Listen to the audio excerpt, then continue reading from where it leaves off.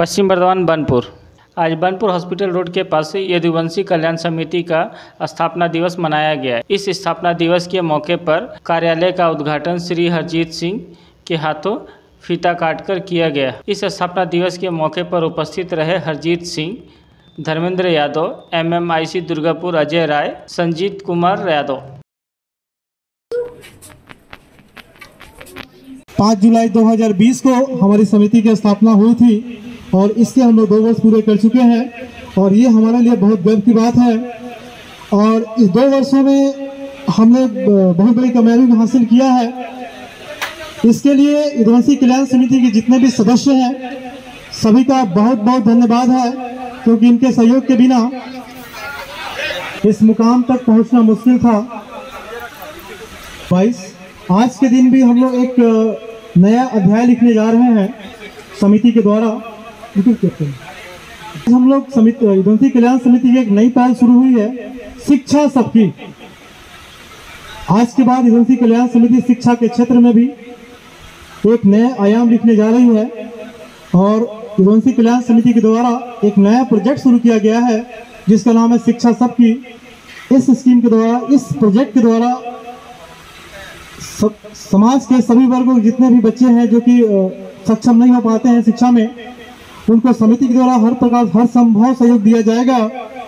और इसके साथ ही सिविल सर्विसेज़, आईपीएस और आईएएस की तैयारी के लिए हम लोग यहाँ पर एक लाइब्रेरी की स्थापना करने जा रहे हैं, जो कि बहुत जल्द हो जाएगी। और ये अपने आप में एक नया प्रोजेक्ट है, एक बेहतरीन प्रोजेक्ट है। ये हमारे बंगाल के लिए भी ए, एक नया प्रोजेक्ट है क्योंकि इस तरह का जो प्रोजेक्ट है इस तरह का जो स्कीम है ये हमारे क्षेत्र में बिल्कुल नया है। और मंच पर उपस्थित विकास जी उत्पल सिन्हा जी अजय राय जी और मेरे उपस्थित अतिथि हैं। सामने बैठे मेरे साथियों वर्षगांठ पर आप सबको संस्थापना दिवस पर यदुवंशी समाज की सभी को बधाई देता हूँ। हार्दिक बधाई देता हूँ अभिनंदन करता हूँ आज आपने इस मंच पर आने का अवसर दिया।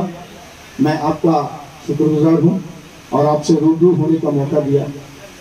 मैं इस समाज को पिछले दो सालों से देख रहा हूँ।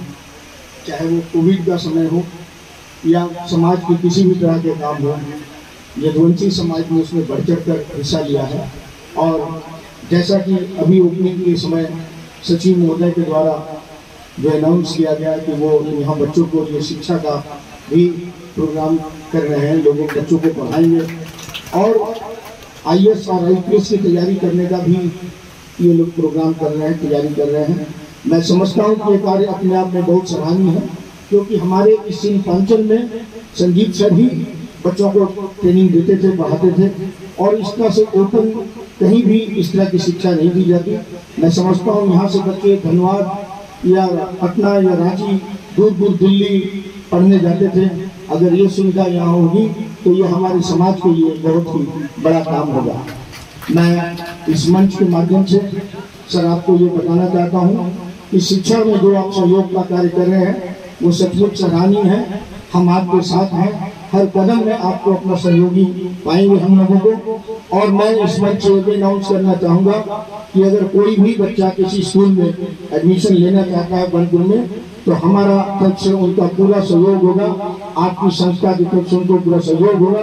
हम आपके साथ हैं, आप आगे बढ़ें, क्योंकि यदुवंशी समाज सिर्फ़ यदुवंशी समाज के लिए ही काम नहीं कर रहा।